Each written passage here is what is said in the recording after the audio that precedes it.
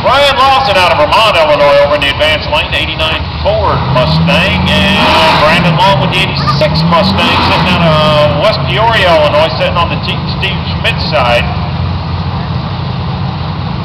Brandon with a 358 Windsor power plant underneath the hood, and it looks like he's going to be making a bye run. Brian Lawson not being able to make the call, or he might have broke something back there in the water box.